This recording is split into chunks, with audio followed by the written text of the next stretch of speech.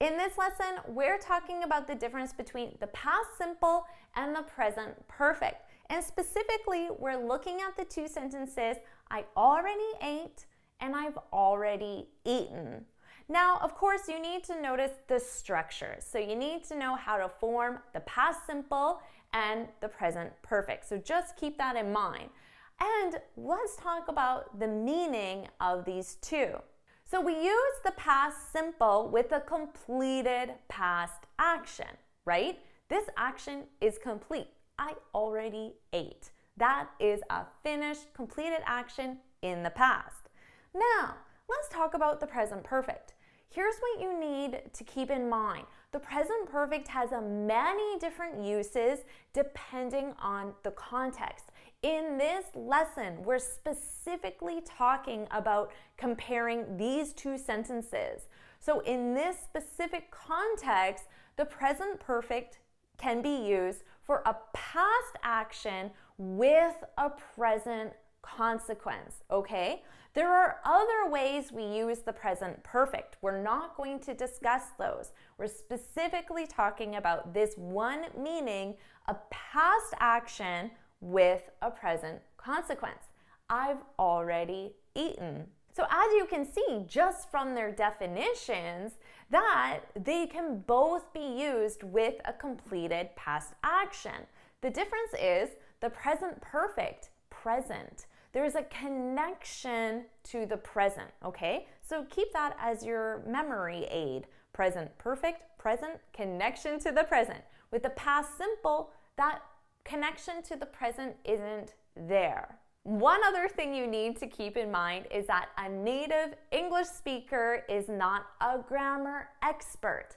A native English speaker is going to use these two sentences in this specific context. They're going to use these two sentences interchangeably and there's not going to be a difference in meaning. So when a native speaker says, I already ate or I've already eaten, there's no difference at all. If you ask them, why did you say this one and not this one? They're not going to know because they don't study grammar, okay? And they're both acceptable, so just keep that in mind. A native speaker is going to use them interchangeably with no difference in meaning. But let's talk about that subtle difference in meaning when we say that the present perfect can be used with a past action that has a present consequence. What does that mean, a present consequence?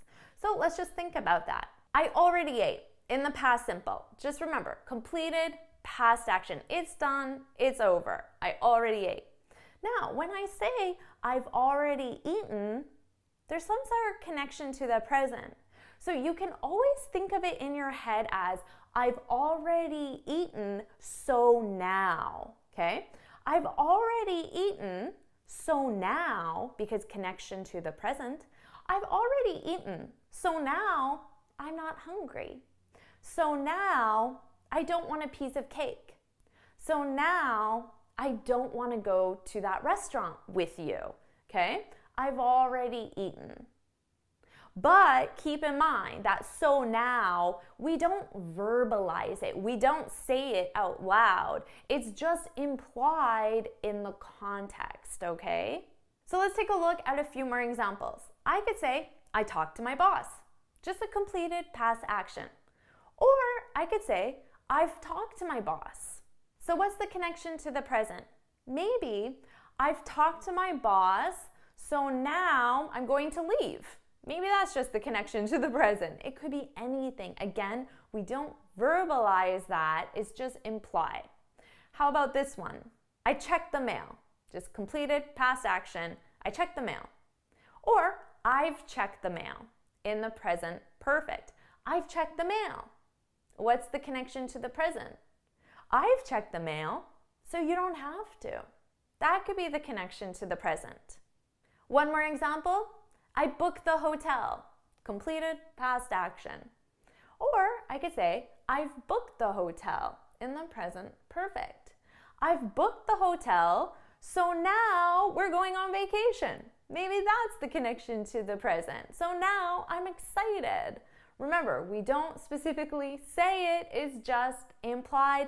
And also, in all of these examples in this specific context, a native English speaker is going to use them interchangeably without a difference in meaning. If you found this video helpful, please hit the like button, share it with your friends, and of course, subscribe.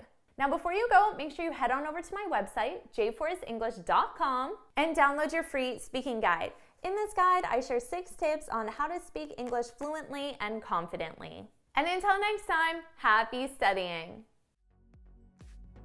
All right, now you're really sounding like a native English speaker now when you can use these two verb tenses interchangeably in this specific context, right?